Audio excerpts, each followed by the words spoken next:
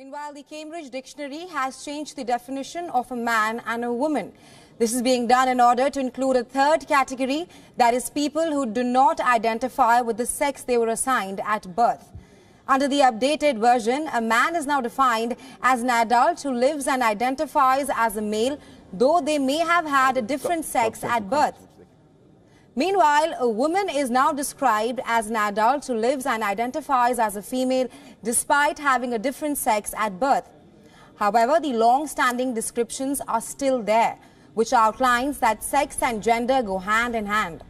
A spokesperson for the Cambridge Dictionary has said that the editors changed the definition of woman in October after carefully studying the usage patterns of the word woman and concluded that the latest description of how a female is defined should be used by the learners of English to further support their understanding of how the language is used. The new descriptions are now being criticized by social media users. Taking to Twitter, some users wrote, and I'm quoting here, remember if you can control the language, you can control the crowd. Another user wrote that the Cambridge Dictionary is only the latest, further saying that if we don't stop them from erasing women, our civilization is not going to make it. Meanwhile, the UK-based group Bristol, leading a campaign against transphobia, hailed the decision as a fantastic news. And uh, both can manage communication with employees, the communication with Andrew. I'm back again. Back again? yeah. And I want to ask you, how is it possible for men to be a lesbian? How is, it, okay, how is it possible for men to be a lesbian? Okay, so this is this story was all over the internet this week. There's a lesbian filmmaker and actress Tonje Gjevjon who's facing up, up to three years in prison in Norway for saying that a man cannot be a lesbian. Now, this is an interesting, Leo, because you're are you a lesbian? You've claimed, made that claim before, haven't yeah, you? I, think men make the best lesbians.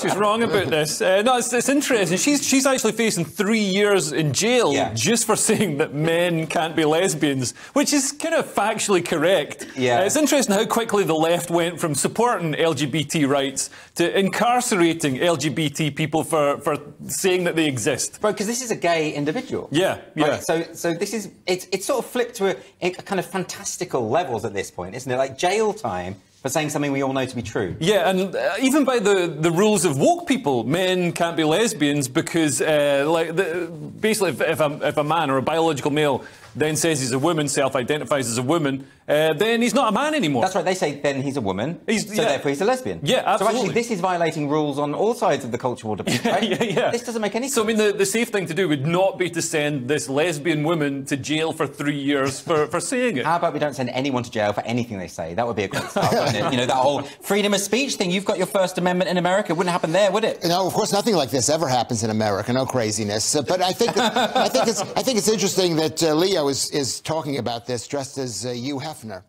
Yeah.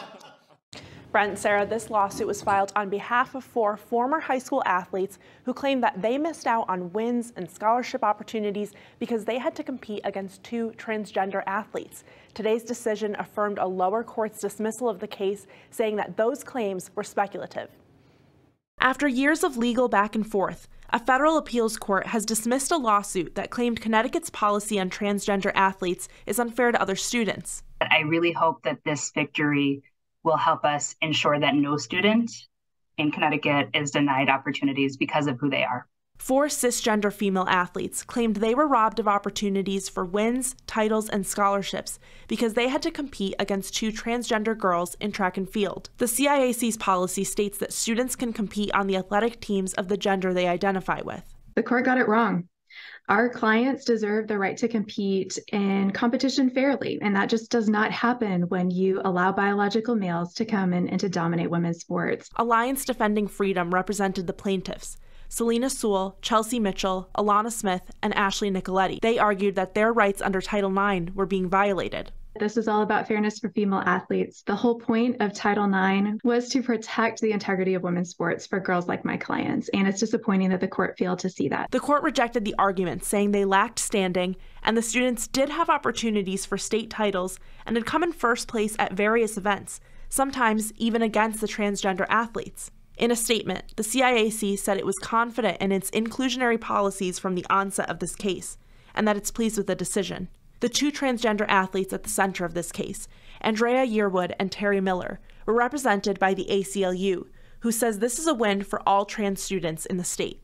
This really is a glimmer of hope um, in an otherwise pretty difficult time if you're a trans kid growing up in the United States right now. Um, this decision says that, you know, if you're a girl in math class, you're a girl in the track field, and you don't have to pretend to be someone that you're not.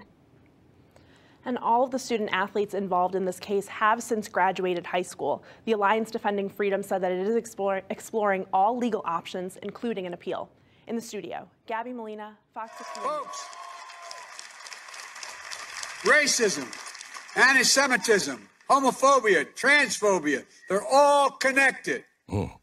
But the antidote to hate is love. Ah. This law and the love it defends Mhm. strike a blow against hate in all its forms. The law and the love it defends. What is he talking about?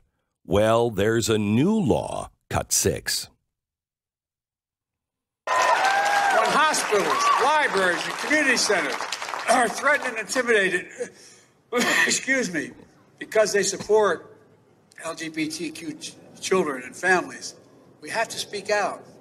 We must stop the hate and violence, like we just saw in Colorado Springs, Mm. where a place of acceptance and celebration was targeted for violence and terror.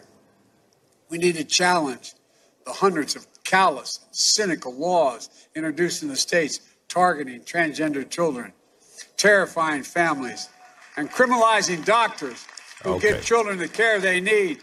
We have to protect these children so they know they are loved, and we will stand up for them and say I can seek for themselves. Stop. So he wants to show that we love these children and we must protect these children. Today, I declare that what I told you, the world would be upside down. Everything you thought would be solid will be liquid. Uh, everything that was liquid will be solid, and you won't understand it. Today is the day I declare it is finished. When the president can say, this is for the love and protection of our children, so doctors can go in and mutilate our children, it is officially upside down.